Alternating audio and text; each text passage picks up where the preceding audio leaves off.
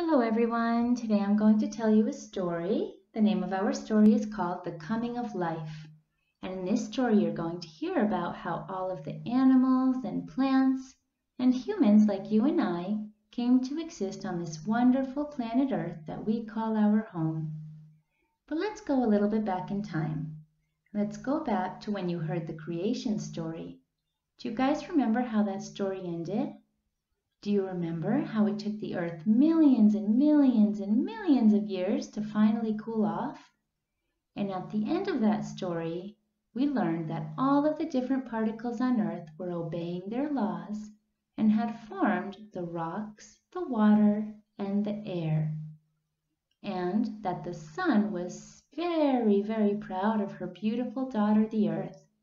Everything seemed so perfect on Earth she was like a little tiny pearl in the great outer space, and the sun was constantly admiring her beauty. Well, that's where we left off, and that's where we're going to pick up again today. So let's go way, way back in time, long before any animals and any plants, and certainly any humans, ever existed on Earth. Can you imagine such a time? Well, like I said, the sun was continuously admiring her beautiful daughter, the earth. And one day, when she was looking down at the earth, she noticed that for some reason, something wasn't quite right. She noticed that there was trouble on earth, and she noticed that once again, chaos was starting to ensue. Oh no, thought the sun. No, not again. I can't deal with any more chaos. Everything was so perfect. What is going on?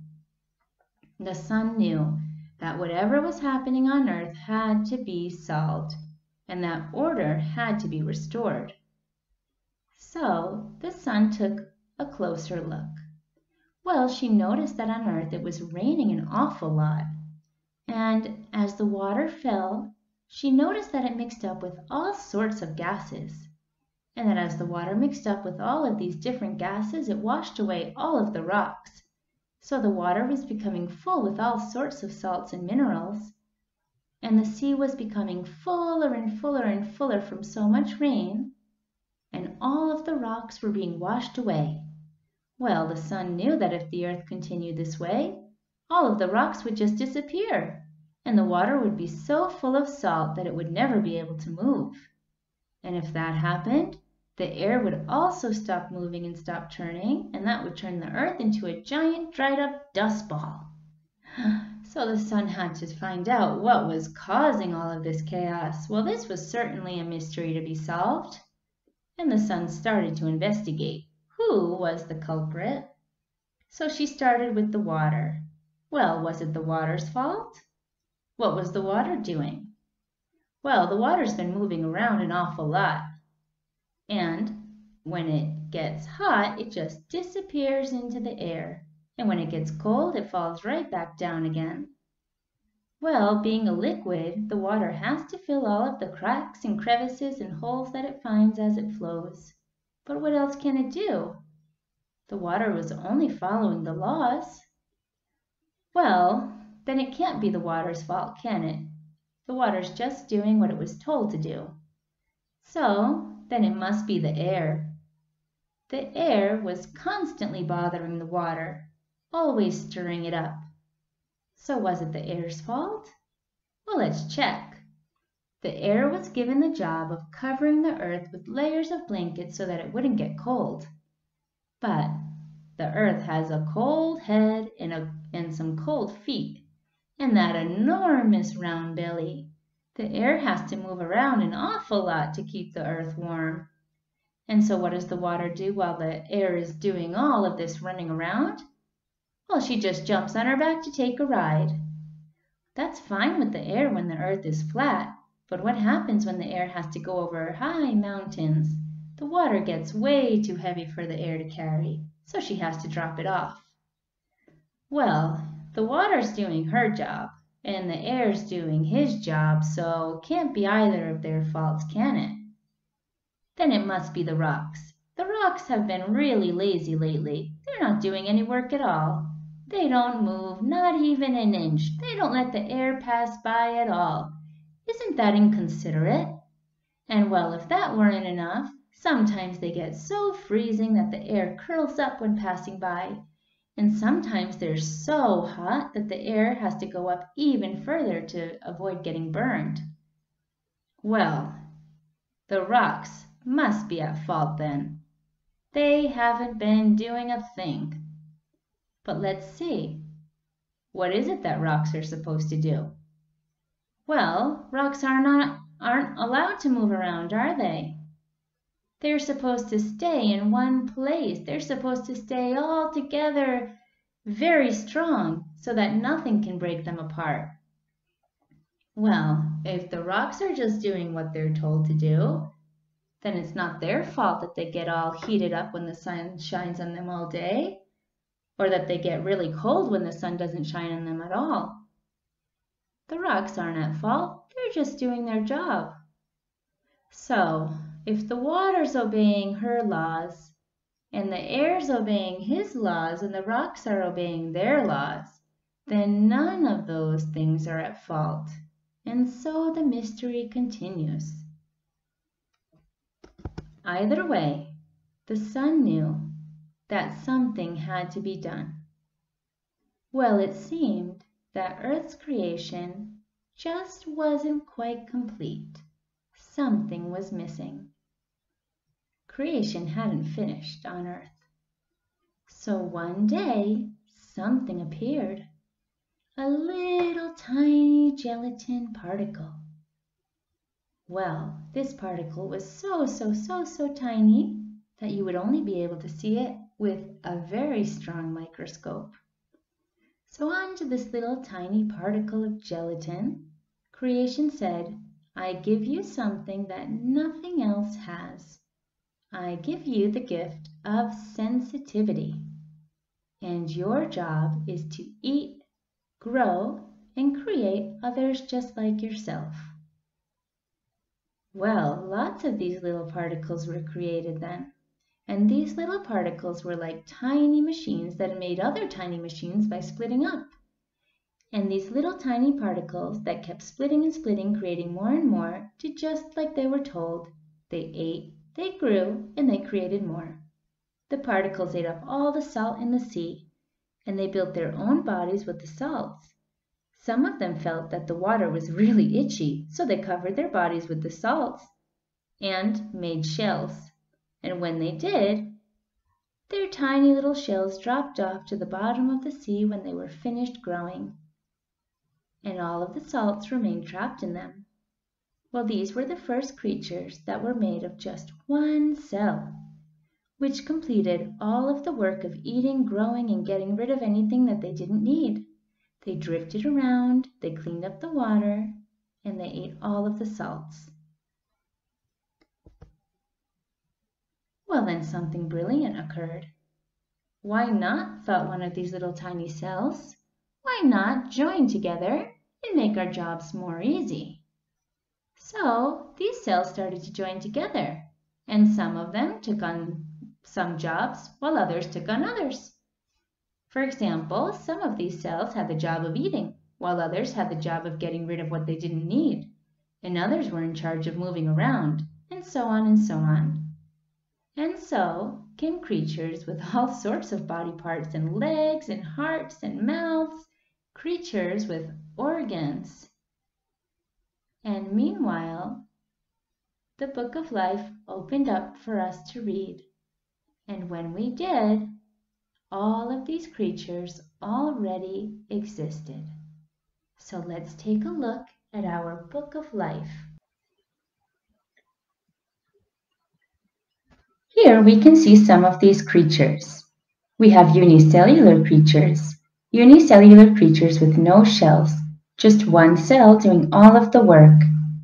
We have one-celled creatures that have tentacles.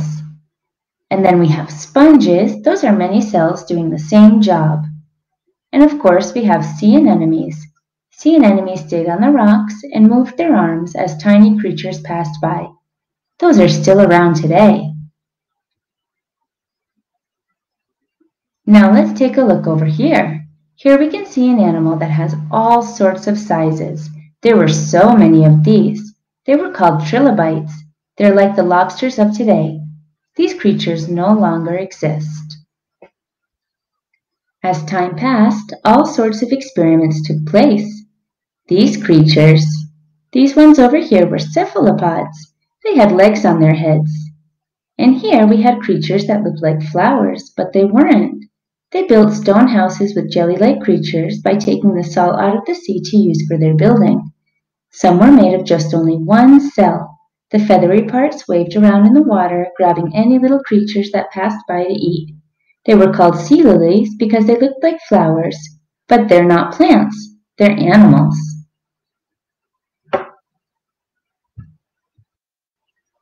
Among these creatures, there was one form of life that instead of eating others made its own food.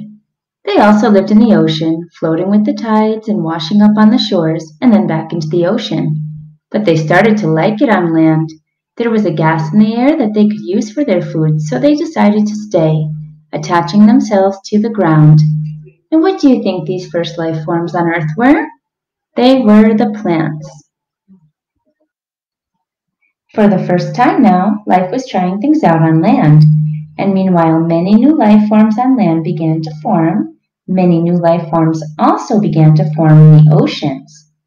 Now one of these creatures in the ocean had something completely different than anything ever seen before. Inside of its body it had a rod.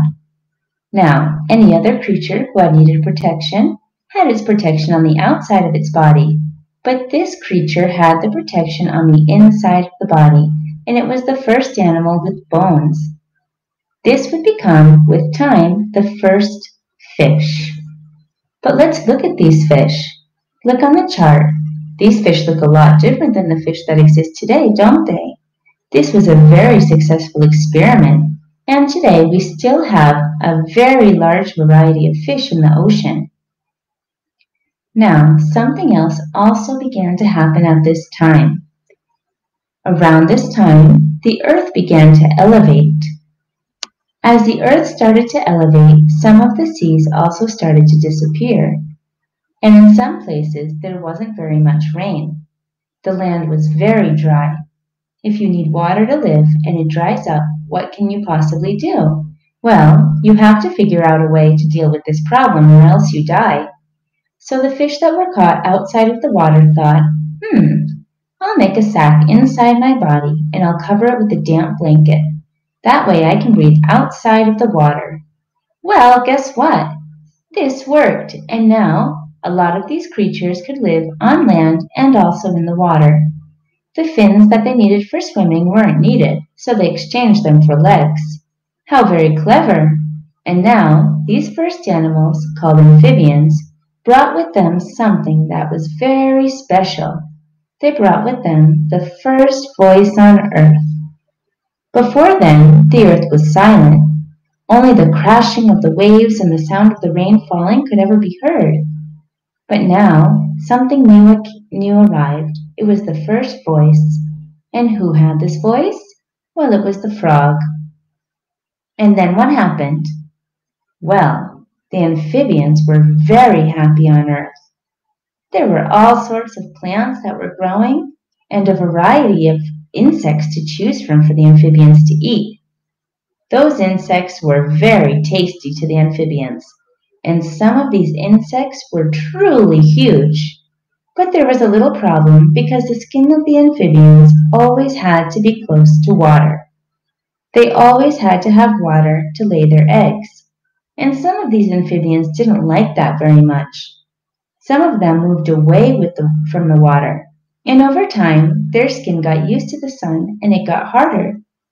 The eggs also developed a hard shell so that they could be left outside of the water, while these new creatures were called the reptiles.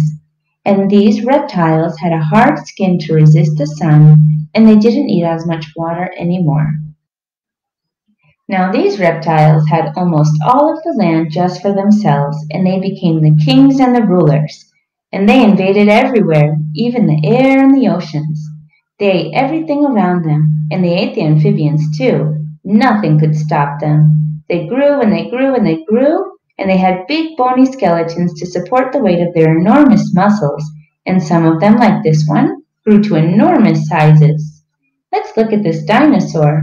He was about 25 meters long. Can you imagine a reptile longer than the entire classroom? And now let's look at the next one. I bet you recognize him, T-Rex. He was so big that his head was the size of a human. Imagine when these animals fought, how the ground trembled.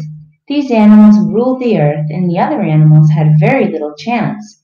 Some of them fled to the cold areas where the reptiles couldn't go. They were the small animals, and they only needed a little bit of food. They stole the eggs of the reptiles that the reptiles had left abandoned. These creatures were given something special to protect their skin and keep them warm feathers or fur. They were given warm blood to survive in the cold as well. Now, these were the first birds and mammals. And what happened to their eggs? Well, they knew that they had to protect them from others who stole the eggs to eat, just like they had done with the reptiles. So they kept their eggs on the inside of their bodies. The birds couldn't do this for too long because they had to be light enough to fly, and the eggs weighed them down. So what they did was build nests and drop the eggs inside, sitting on them to keep them warm, and then caring and feeding their hatchlings with great affection. Mammals also kept their eggs on the inside, and then, when their babies were born, they nurtured and fed their young with warm milk. This was something completely new. No other creature before had ever cared for its offspring. Usually they just left them defenseless and all alone. While these new animals, the birds and the mammals, protected their young and wished to keep them safe from predators and harm until they were ready to survive on their own. By the time these new animals arrived, the climate was changing. It was becoming very cold, and the animals that didn't have feathers or fur to keep warm couldn't survive. This meant that the birds and mammals could take over. Now, with lots of food, they prospered. There were giant pigs and giant hippopotamus, enormous woolly elephants with giant tusks. These mammals were having a great time on Earth. The Earth was becoming colder, and large sheets of ice covered parts of the Earth.